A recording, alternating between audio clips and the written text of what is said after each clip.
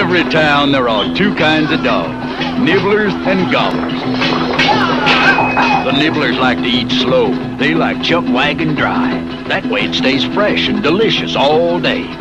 The gobblers are always eating fast. Warm water turns their chuck wagon into tender chunks, crunchy nuggets, and tasty brawn.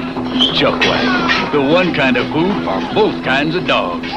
Comes in chunky chicken flavor, too.